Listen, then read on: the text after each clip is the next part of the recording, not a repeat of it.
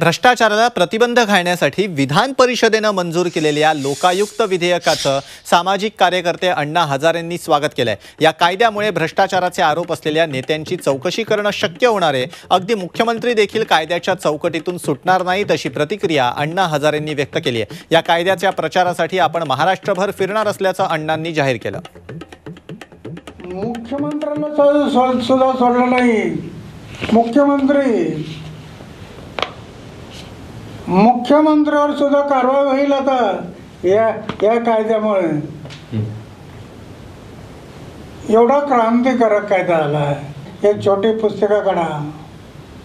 आणि मला शक्य झालं तर ह्या पुस्तिका ज्या लोक आयुक्त काय लोक आयुक्त आहेत त्या पुस्तिकेचं वितरण करायचं आहे. तर त्यासाठी मी महाराष्ट्रामध्ये दौरा करून या कायद्याचा प्रचार करणार